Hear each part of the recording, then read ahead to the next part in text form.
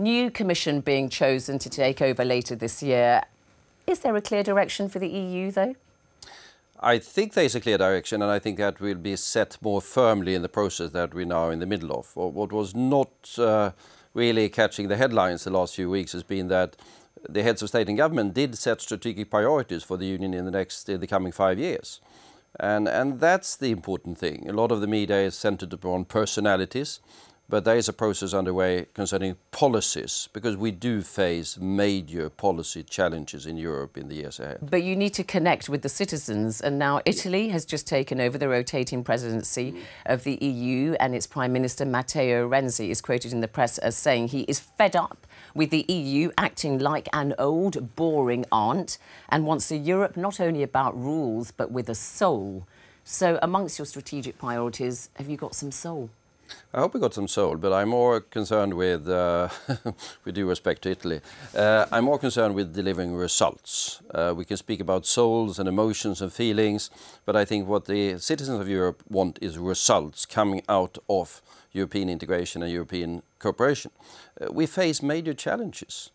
And we know that the nation states are too small to master those challenges by themselves. Accordingly, we must work together. Uh, but the workshop is not just the process and personalities and all of that. It is the ability to actually produce policies that affect the outcome of the lives of our nations and our citizens. So that's a fairly tall order. But I mean, do you accept that this is really has been a very difficult time for the EU? Yeah. No, it... The pro-EU parties do have a majority in the uh, Parliament, but nevertheless, we saw a rise in the Eurosceptic and protest vote, and particularly in the UK with UKIP, the UK Independence Party, and in France, the National Front, to the extent that the Prime Minister there, Manuel Valls, said that the parliamentary election result was a shock and earthquake that all of Europe's leadership must respond to. Are they listening? Do they really acknowledge the scale of what happened? I, I hope that we all do. Uh, I, I think we need to acknowledge that national election results are often affected by national factors. I think the French election result can't be explained without looking at the national politics and the national problems of France. The same to a certain extent by the U in the UK.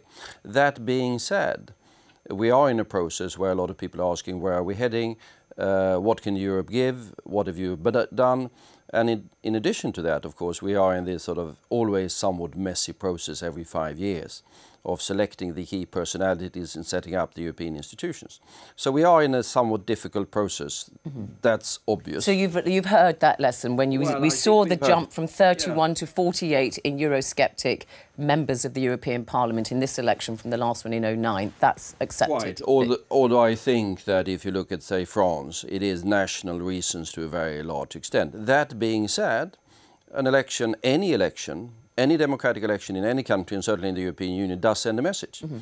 uh, and it's important for the politicians to listen to that particular message. And I think the message is we want a Europe that delivers results, results that are relevant for us. So and that we must do.